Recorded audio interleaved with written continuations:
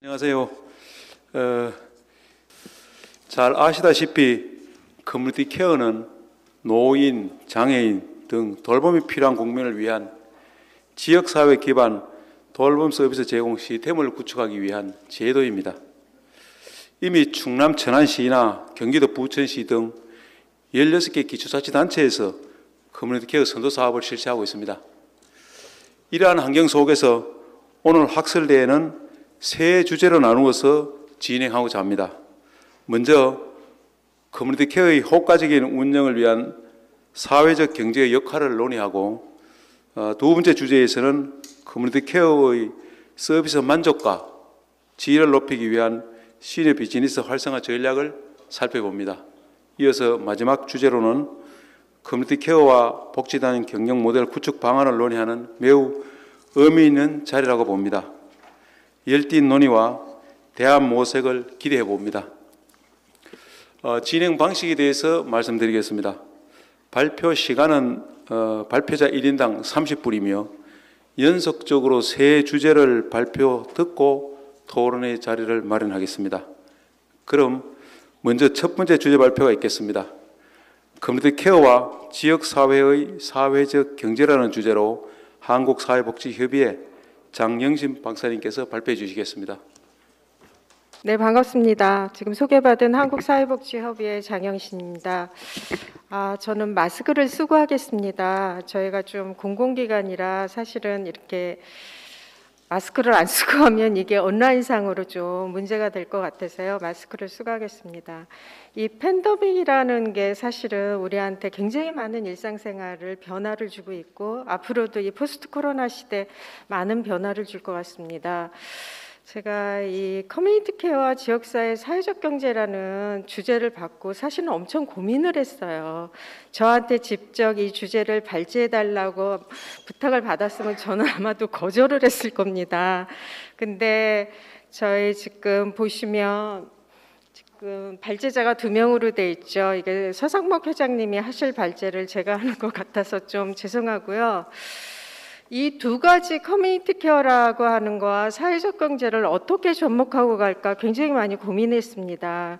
그래서 나중에 제가 하고 나서의 제목은 지역사회 중심의 커뮤니티 케어와 사회적 경제 아니었을까 하는 생각을 했습니다.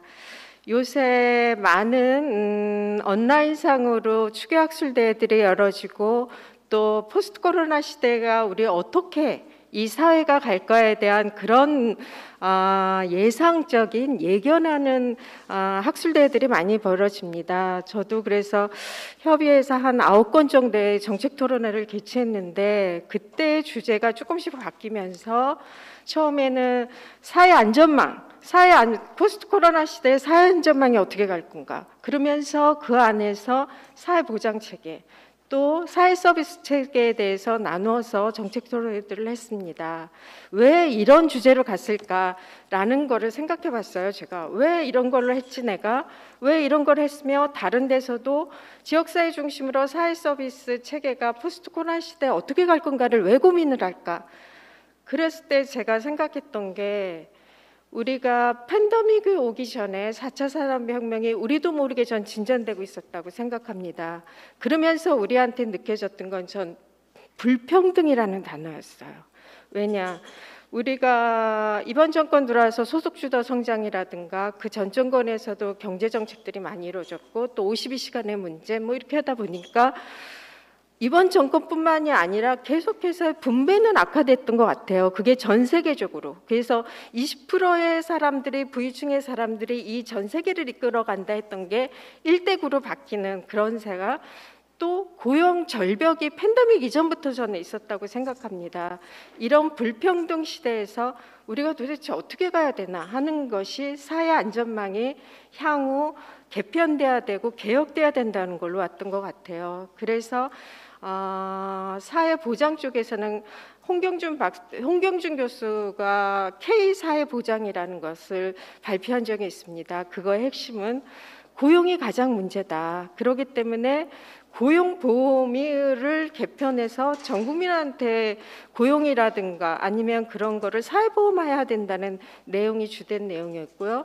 또 외국에서부터 들어온 가이거 앤더슨 그 분에서 기본소득이라는 게 지금 정치적으로 지금 굉장히 많이 회자되고 있습니다. 그래서 다음 대선에서는 이, 이 기본소득이 또 하나의 이슈화 되지 않을까 하는 생각을 하고요. 그 다음이 사회 서비스가, 이 중요한 사회 서비스가 어떻게 갈까? 우리가 계속 이렇게 사회 서비스에 관한 것들이 하나의 사회 서비스만이 아니라 사회 보장을 지원해주고 어, 지역 사회화 가는 거 어, 그런 전달 체계 개편에서의 사회 서비스는 굉장히 중요한 부분이기 때문에 이 사회 서비스에 대한 체계도 개편돼야 된다는 거 이런 배경 하나에서 제가 커뮤니티 케어와 사회적 경제라는 거를 한번 고민해 봤습니다. 그래서 우리나라의 커뮤니티 케어가 2018년부터 도입된다고 발표를 했던 그런 내용들을 간략하게 하고 거기에서의 가장 핵심이 되는 보건과 복지가 함께 가야 되는 그런 것들이 아직 이루어지지 않은 거에 대한 문제점들 그런 거를 첫 번째 단락에서 제가 설명을 하고요. 두 번째 그렇다면 우리보다 먼저 커뮤니티 케어를 아, 먼저 실행한 국가들이 꽤 많습니다. 이거는 사실은 두 가지로 나눠지는 특징이 있는 것 같아요. 하나는 고령화가 가장 큰 특징이겠죠. 그러다 보니까 사회보험의 그런 재정 아- 건전성이라든가 재정 확보라는 그런 문제, 그런 문제들과 또 탈시설화라는가 그런 인권의 문제 이런 것들을 어떻게들 외국에서는 좀 해갔나 해서 외국에서 먼저 하고 있던 스웨덴이나 일본, 영국에 대한 거를 간략하게 제가 소개를 하고 사회적 경제와 이 커뮤니티 케어를 연결하고 가는 접점을 찾아가고 있는 영국의 사례를 하나 설명드리려고 합니다. 그리고 지금 개인적으로는 우리나라에서 아직 저는 커뮤니티 케어가 자리 잡았다는 생각은 안 들거든요. 뚜껑은 열었지만 아직 어떻게 가야 될지 방향을 잡지 못하고 있기 때문에 지역별로 지역에 맞는 커뮤니티 케어를 어, 구축하고 가려고 늘 고민하는 단계다 생각이 듭니다. 그래서 어, 한국에서 지금 이런 사각지대에 있는 커뮤니티 케어 사각지대에 있는 음, 거를 의료 생협을 통해서 하고 있는 하나의 사례를 소개해 드리려고 합니다. 그러면서 이렇게 3단계로 나눠서 한번 같이 논의해 보고 어, 고민하는 그런 시간을 하, 을 갖도록 하겠습니다. 사실 커뮤니티 케어는 여기에 많은 분들이 알고 계실 거예요. 이번 정권이 들어서면 가장 먼저 세웠던 게 포용적 복지국가. 를 내세웠습니다. 가장 큰 화두로서 내세웠고 복지에 굉장히 많은 관심을 갖고 있는 게 이번 정권이라고 생각해요. 그래서 2018년 3월 2일 복지부에 커뮤니티 추진단이 탄생을 합니다. 그래서 저도 굉장히 많이 좀 기대를 하고 해서 제가 커뮤니티 추진단을 찾아가서 그 당시 황승현 단장이었습니다. 저희 협의회에서 해드릴 게 뭐 없을까라는 고민으로 제가 아, 커뮤니티 케어 관련된 다섯 번의 정책 토론회를 기획해서 갔습니다. 그래서 다섯 번의 18년도에 5차에 걸쳐서 커뮤니티 케어에 대한 정책 토론을 했어요. 그 중에서 제가 가장 기억에 남는 게 3차 커뮤니티 케어 정책 토론이었습니다.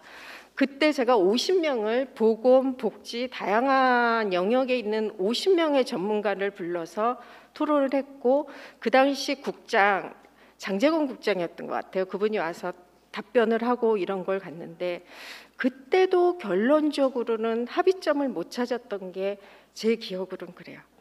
그래서 참 아쉬웠던 점이 있었던 거고 핵심은 여러분들도 다 아시는 고령화가 이렇게 진전될 때 커뮤니티 케어는 갈 수뿐이 없는 저는 그런 시점이라고 봐요. 우리나라가 아, 2018년도에 사실은 14%가 됩니다. 고령화 지수가. 그리고 그 당시 예견으로는 2026년도에 초고령화 사회가 될 거라고 예견을 했는데 이 속도대로 가려면 2025년에 초고령 사회가 진입될 것 같습니다. 이럴 때 커뮤니티 케어를 어떻게 갈 건가? 탈시설화 그리고 거점 뭐 이런 것들에 많은 고민을 해서 발표를 했어요. 그러고 나서 여러 가지 뭐 그 중간 중간에 사실은 사회보장위원회에서 보건복지해서 그때 위원장이 이건세 보건 쪽을 맡고 계신 어, 예방의학과 의사였고 그 안에 또 성공에 대해 김영득 교수가 들어가서 부위원장을 하면서 굉장히 접전을 많이 했던 것 같아요. 그걸 어떻게 하면 하나의 모델로 갈지. 그러고 해서 노숙인, 장애인, 아, 노인 여러 가지 대상별로 가겠다는 의견들은 계속 나왔지만 결국은 그해 11월에 아, 19년도 11월에 노인에 대한 음, 청사진만 사실은 나왔습니다. 그랬을 때 여기서 핵심이 전 됐던 게 부처 간에 협업을 하겠다는 것을 발표를 해요. 국토부나 행안부, 복지부가 협업을 해서 LH와도 같이 해서 어, 거점 그러니까 우리가 커뮤니티 케어 하면 지역에 의한 케어가 되는 거죠. 지역 내의 케어가 아니라 지역에 의한 케어인데 그렇게 하려면 시설이나 병원에서 오랫동안 사시던 분이 바로 지역에 의한 케어가 안 돼요. 그 일상생활을 할 수 있는 어떤 그런 체험을 할 수 있는 중간 거점이 있는데 그거가 잘 이루어지지도 않 은 그런 상태가 됐던 게 아, 지금까지 오고 있지 않나 그런 생각을 합니다.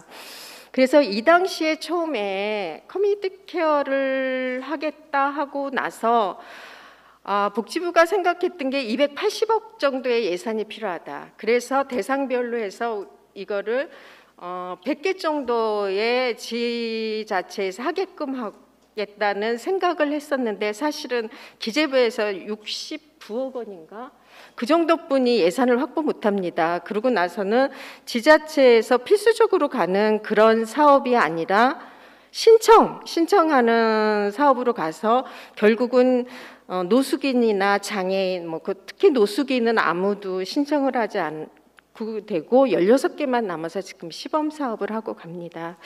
여기 계신 분들이 이 커뮤니티 케어에 관한 것은 굉장히 자세히 알고 있을 거라고 생각해요. 이 16개 중에서 보건과 복지가 협력해서 어떤 그런 사례회의를 하고 가는 그 부분이 그렇게 활발히 진행되는 거는 찾아보기 좀 어려운 거 아닌가 그런 생각을 합니다. 그래서 지금 평택에서도 평택형 커뮤니티 케어를 아마 고민하시는 게 아마 그런 거 보건 의료와 복지 이런 것들이 어떻게 하면 잘 어, 대상한테 정말 지역에 의한 커뮤니티 케어 체계를 구축하고 있, 갈까를 고민하시지 않나 그런 생각을 합니다. 이게 지금까지의 현황이라고 볼 수 있고요.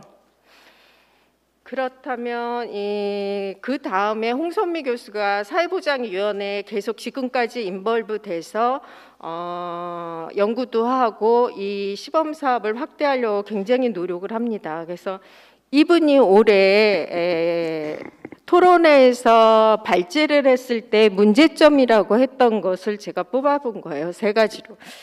이거 무선 마이크 없나요? 아, 그래서 첫 번째가 그분은 인력의 확충을 얘기합니다. 사실은 지금 우리나라는 어, 포멀한 그런 돌봄보다는 가족 중심의 인포멀 돌봄에 굉장히 치중했던 나라 중에 하나죠. 일본과 우리나라는 특히. 근데 이렇게 사회적 돌봄이라는 걸 가면서 인력이 계속 부족할 수뿐이 없고 돌봄이라는 전문성을 갖춘 돌봄이라고 하는 것은 전문적인 그런 케어가 필요한 거기 때문에 더더욱더 인력의 그 확충은 필요하다고 봅니다. 우리보다 먼저 커뮤니티 케어를 하고 있는 일본의 경우는 인력의 그런 문제가 사실은 10년 전부터 인력 부족의 문제가 어, 생겼기 때문에 지금 그 나라가 IT나 로, 어, 돌봄 로봇이나 이런 게 발달할 수뿐이 없는 그런 사회 구조가 되어 있습니다. 그리고 일본에서 처음 개요보험이 도입되면서 커뮤니티 케어를 할 때 한 5년 정도 지나서 이런 우리랑 마찬가지로 어, 인력의 부족을 겪어요. 그래서 어, 동남아시아에 있는 그런 돌봄 인력들을 어, 들어와서 돌봄을 하게끔 하는 그런 정책도 피우고 했지만 이 돌봄이라는 게 문화가 연결되어 있기 때문에 굉장히 실패를 합니다. 그래서 이런 아, 사회 서비스에 관련된 인력 확충 여기에는 여러 가지 또 문제들이 있죠. 우리 지금 뭐 사회 어, 사회 서비스원이나 뭐 이런 것들과 같이 연계되는 것도 있고 또 이런 돌봄에 관한 종사자들의 처우라든가 뭐 이런 것들에 다해서 인력 확충을 어떻게 갖고 갈 것이냐 하는 그런 문제가 있고요. 또 하나는 적정 사회 서비스 공급 방식과 이용 체계 구축입니다. 이런 것들은 지자체에서 얼마만큼의 돌봄 서비스를 잘 가져갈 수 있는 건가 이게 이런 것들 또 이용 체계 바우처라는 것과도 이거는 연결돼서 한번 고민해 볼 수 있는 그런 문제인 것 같고요. 세 번째가 다양한 공급 주체 및 돌봄 경제 활성화 이게 사회적 경제와 연결되는 부분이라고 생각합니다. 네, 우리가 지금 공공성 확대로 가서 돌봄도 굉장히 큰 정부를 지금 추구하면서 정부가 아, 많은 부분에서 하려고 하죠. 그렇다고 해서 돌봄에 대한 사각지대는 분명히 있- 있을 수뿐이 없어요. 그랬을 때 이런 사각지대를 메꿔갈 수 있는 제3의 섹터, 이런 제3의 섹터로 사회적 경제가 지금 어, 사회적 경제에 대한 것도 한번 고민해 볼 필요가 있지 않냐는 게 이 홍선미 교수의 그 지금 현재 커뮤니티 케어의 문제점을 이렇게 했던 게 예, 있었고요. 또 하나 이 오영임 박사는 보건 쪽입니다. 보건 의료 쪽. 그래서 제가 두 개의 이런 문제점을 내놨는데요. 아까 홍선미 교수님은 굉장히 사회복지 전달 체계, 사회 서비스 전달 체계에 관한 그냥 운영에 대한 그런 부분을 문제 제기했고 이 오영임 박사는 굉장히 근본적인 문제를 제기합니다. 우리가 지금 커뮤니티 케어를 할 수 있을 때 모든 게 이런 재정인데 이 재정에 대한 거를 어떻게 갈 건가? 조세로 갈 건지 아니면 기금으로 갈 건지 그런 문제. 요새 여러분들은 알고 계시죠? 정춘숙 의원이 올해 11월에 이 커뮤니티 케어, 그러니까 지역 지역 통합 돌봄 기본법을 지금 국회에 발의해 놓은 상태입니다. 그래서 그걸 좀 봤어요. 여기 이제 발췌를 해야 돼서 좀 찾아봤는데 처음에 우리가 이 기본법은 사실은 rough하게 기본이 되는 법률하고 나중에 뭐 그분 말씀으로는 시행령이나 이런 쪽에 구체적인 걸 넣겠다 했는데 제가 처음 읽을 때 딱 막혔어요. 처음에 그분의 목적에 뭘로 했냐면 통합 돌봄의 목적을 해놨어요. 근데 커뮤니티 케어의 핵심은 뭐죠? 커뮤니티예요, 지역. 통합 돌봄은 우리는 박근혜 정권 때부터 통합 돌봄을 해왔습니다. 근데 통합 돌봄에 대한 설명만 있었고 그 지역사의 통합 돌봄, 지역 통합 돌봄의 그런 목적이 거기에 제지 않았고 또 하나는 기본법이라고 해도 누가 어떻게 무엇을 할 거라는 내용들이 이 컨텐츠로 들어가야 되는데 그런 내용들이 없, 없었습니다. 그래서 좀 이게 어떻게 될지 모르고 또 복지부에서도 이거에 대한 걸 가다듬고 하려고 뭐 회의를 하려고 하는 것 같은데 근본적으로 이런 게 법률화되면 굉장히 저는 무섭다는 생각을 하거든요. 우리가 법률과 또 지침만 이런 게한방딱 정해지면 그거를 다시 개정도 하고 바꿀 수도 있지만 이렇게 쉬운 건 아니라 그런 좀 관심들을 갖고 좀 그거에 대해서 어떻게 진짜 컨텐츠화해서 갈 건지를 여기 계신 교수님들과 같이 논의해서 좋은 방향 정말 법률화로 제정을 하고 가야 될 건지 아닌가부터도 좀 고민해 볼 필요가 있지 않나 그런 생각을 합니다. 그래서 첫 번째가 그 재정 조달의 방안에 대한 거를 문제 제기했고요. 두 번째가 다직종 간의 연계. 저는 이게 굉장히 중요한 부분이라고 생각해요. 커뮤니티 케어는 복지만도 아니고 의료 보건만도 아니라고 생각합니다.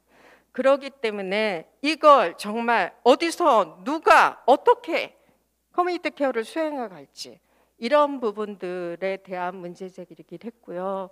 이분이 의료 보건 쪽의 박사이기 때문에 의사 참여 범위에 대한 제한점을 문제 제기를 했습니다.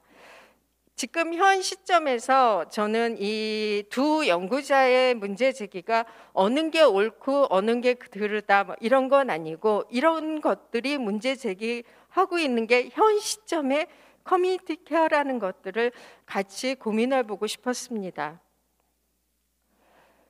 지금까지가 우리나라 커뮤니티 케어의 좀 현황이라고 할 수도 있을 것 같아요. 그거에 대해 말씀을 드렸고요. 아, 다음은 영국에서 사실은 사회적 경제나 사회적 협동조합이 그 옛날부터 태초에 영국이 자발적으로 됐던 게 전 영국이라고 생각을 하거든요. 우리나라는 사실은 자발성에 의한 사회적 경제는 아닙니다. 제3섹터로 해서 정부의 굉장히 보조금을 받고 하는 그런 사회적 경제 육성법도 있고 그렇게 해서 출발을 했기 때문에 이런 미국이나 해외 학회에 가서 아, 우리 사회적 경제 이런 것들 이런 지원을 받습니다 하면 굉장히 막 넌센스처럼 생각을 한대요. 그래서 그래서 좀 영국을 한번 생각해 봤고요. 그래서 영국에서 하는 하나의 서클이라는 협동조합이 있어요. 그걸 소개를 하면서 사회적 경제가 이렇게 실천되고 있는 한 사례를 소개해 드리려고 합니다. 그 전에 제가 세 개의 국가를 여기다 해놨어요. 스웨덴, 그러니까 커뮤니티 케어의 특징은 저는 이 세 국가에서 스웨덴, 영국은 법률을 제정합니다. 커뮤니티 케어법은 아니에요. 아, 영국만 커뮤니티 케어법을 해요. 그래서 그 중앙 정부에 있던 것들을 다 시군구 지자체로 사회 서비스로 옮기는 그런 작업을 하고요. 스웨덴은 이것보다 먼저 92년대 아들 개혁을 추진합니다. 스웨덴만큼 이 세 나라를 비교했을 때 여러분들은 사회 서비스에 관련돼서 어떤 생각들을 하십니까? 굉장히 공공성을 강화된 게 스웨덴. 중간 정도의 공공성. 그리고 일본은 굉장히 특징적인 게 민간을 활용한 공공성 강화. 이렇게 저는 좀 어, 구분 지어 볼 수 있다고 생각합니다. 그래서 스웨덴이 92년에 아들 개혁을 할때 굉장히 공공성이 발달된다는 게 아니라 의료나 복지 뭐 이런 저 의료 특히 다 중앙에서 컨트롤했고 무상이었습니다. 그랬던 것들이 이제 지방으로 사회 서비스는 코민이라는 거 하는 우리나라의 그 시군구죠. 그쪽에서 다 할 수 있게끔 이런 계획을 추진하고 이때 65세 이상의 노인이 아닌 80세 이상에 되는 노인에게 집중적으로 사회 서비스를 어, 제공합니다. 그 이유는 65세보다 80세 넘었을 때 일상생활이나 이런 지역에 의한 그런 돌봄이 필요한 날이라고 해서 어, 60, 80세 이상하게 사회 서비스를 제공하는 그런 아들 개혁을 추진합니다. 그리고 2001년에 사회 서비스 법이 제정이 되고요. 이런 개혁들이 있었던 거고 영국은 70년대 시범 개혁을 합니다. 왜냐하면 사실 영국은 우리나라보다 굉장히 빠르게 고령화가 사실은 어, 시작이 됐던 나라죠. 그래서 그 전에 이 탈시설화가 커뮤니티 케어에 그다지 작용을 하지 않은 게 영국입니다. 왜냐하면 60년대에 정신 장애인들이 병원에 오래 있었을 때 인권 문제로 인해서 탈시설화, 탈의원화 그런 것들을 주, 했던 거 여기는 아마 normalization도 같이 포함되지 않았는가 그게 많이 그게 시작으로 해서 했던 게 나중에 커뮤니티 케어하고 연결이 됩니다. 그리고 시범 개혁의 특징은 여기서도 어, 사회 서비스를 그 시군구 쪽으로 어, 지, 지자체로 넘기는 그런 음, 국을 만들어서 여기서 커밋 아, 국을 만들어서 사회 서비스를 제공하게 하는 그런 개혁을 했던 게 시범 개혁의 핵심이 됩니다.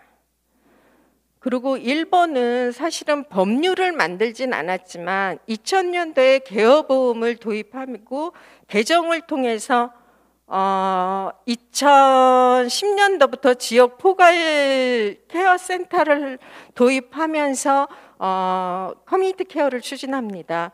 이때 일본에서는 사실은 130개에 관련된 그런 커뮤니티 케어를 추진하기 위해서 130개에 관련된 법률들을 개정을 합니다. 그런 것들을 통해서 그러면서 의료 보건에 대한 협력하고 또 재정을 한 대로 묶는 그런 작업들을 통해서 커뮤니티 케어를 어, 추진해 나갑니다.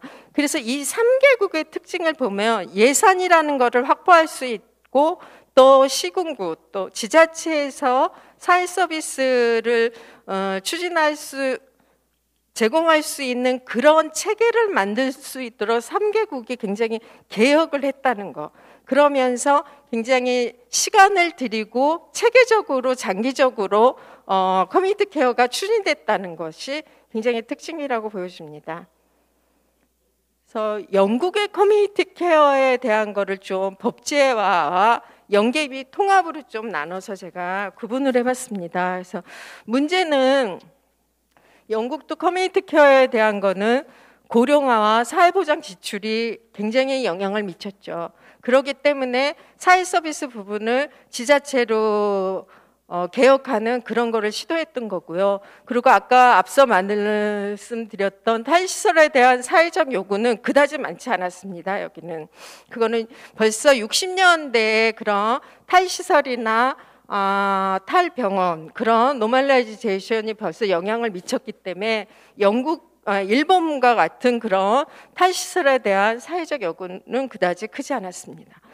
그 정치적인 거는 아 영국이 그 대처가 들어오고 하면서 신자유주의적인 작은 정부를 추구하잖아요. 그러면서 공공이 했던 거를 민간이 할 수 있도록 그런 어, 유도하는 그런 정책을 썼기 때문에 이런 민간 서비스 공급 확대를 좀 지향했고요.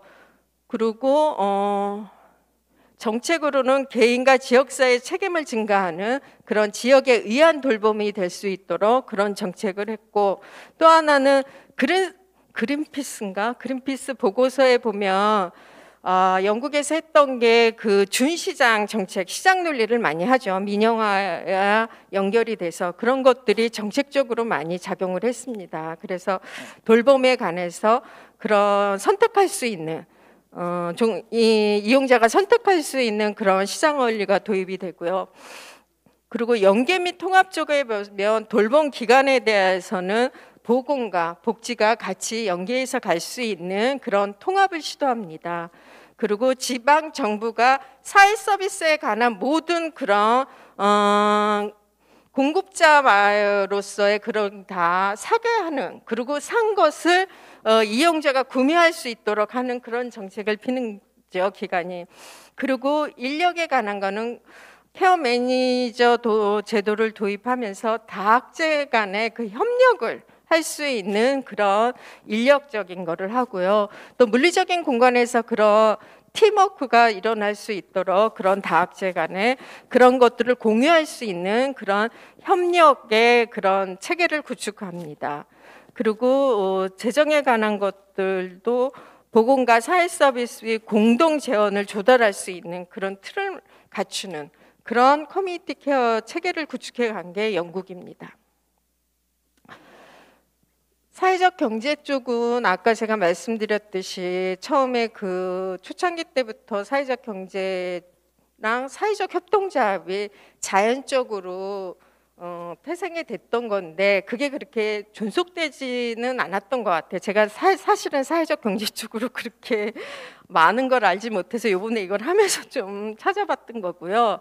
그래서 이 서클이라고 하는 게 영국에서 굉장히 유명한 사회적 경제 쪽이더라고요. 그 협동조합으로 이루어지는데 아, 이렇게 공공이 중심이 돼서 하던 정책이 민간으로 넘어가고 같이 정부가 이런 커뮤니티 케어를 추진하지만 이 65세 이상 되는 노인들, 영국 노인들에 대한 불만이 굉장히 많, 그러니까 많다기보다는 그래도 충족되지 않은 사각지대가 있었다고 합니다.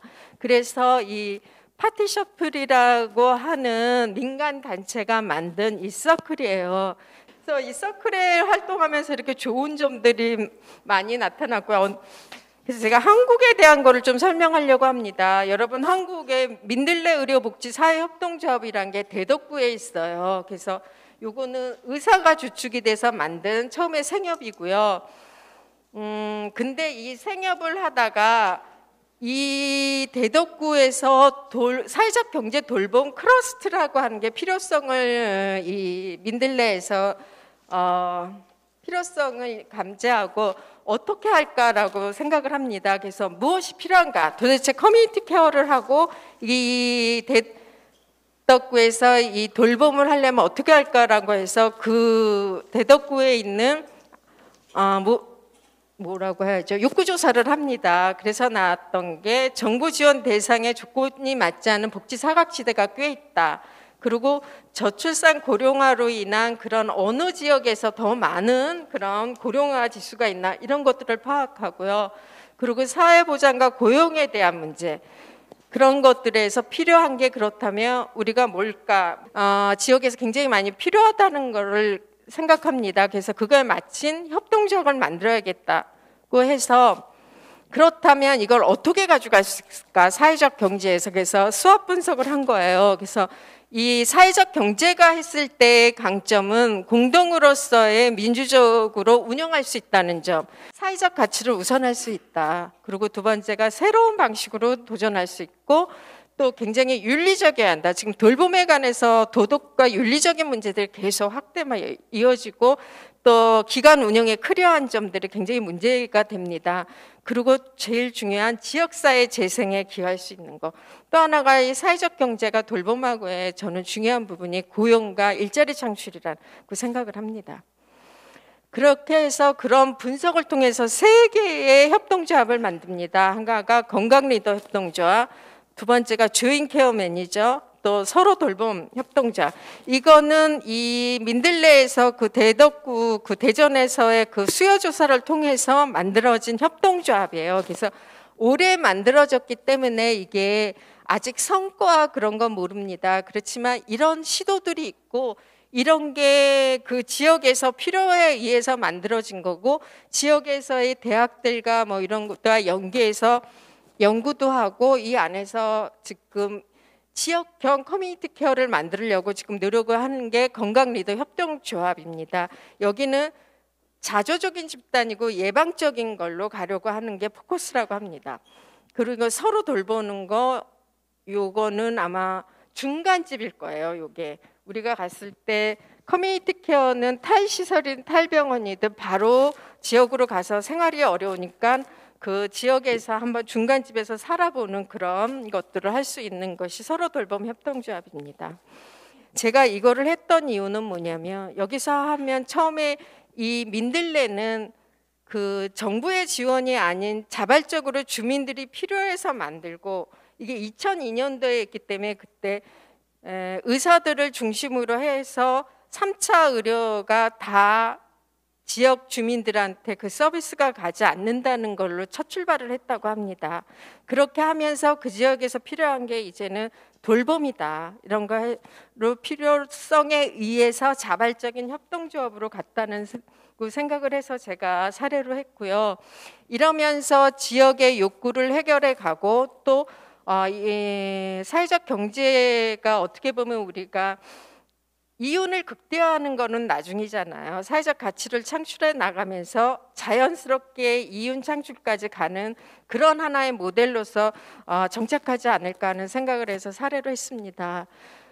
마지막으로 코로나 시대의 사회적 경제의 가치를 제가 이렇게 돌봄의 부재, 지금 우리가 거리두기, 사회 서비스가 저는 코로나로 인해서 지역사회에서 좀 붕괴됐다는 생각을 했거든요. 왜냐하면 우리는 공급자 위주로 서비스를 줬기 때문에 찾아가는 서비스에 대한 것이 그렇게 활성화되지 않았을 때 누가 주체가 돼서 이 코로나 어, 팬데믹 시대에 사회 서비스를 제공할 거야 굉장히 멘붕이 됐던 것 같습니다.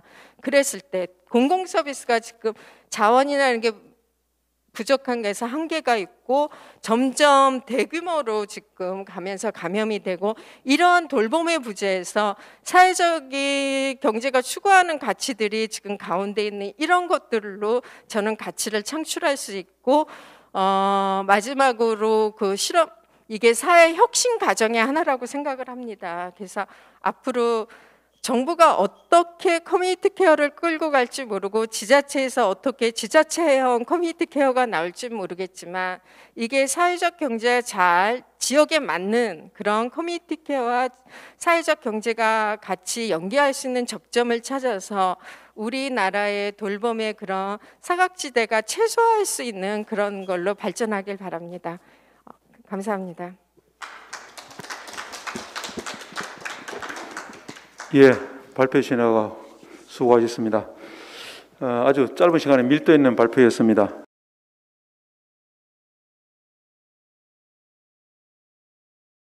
그리고 사회적 경제 방식으로 실천되고 있는 영국 사례, 또 사회적 경제 조직을 통한 활성화 사례 등을 발표해 주셨습니다. 다만 어, 아쉬운 것은 이 사회적 경제 방식으로 실천되는 영국 사례에 대해서 어, 좀더 어, 발표하셨더라면 좋았는데요. 시간 관계상 아쉬움으로 돌리겠습니다.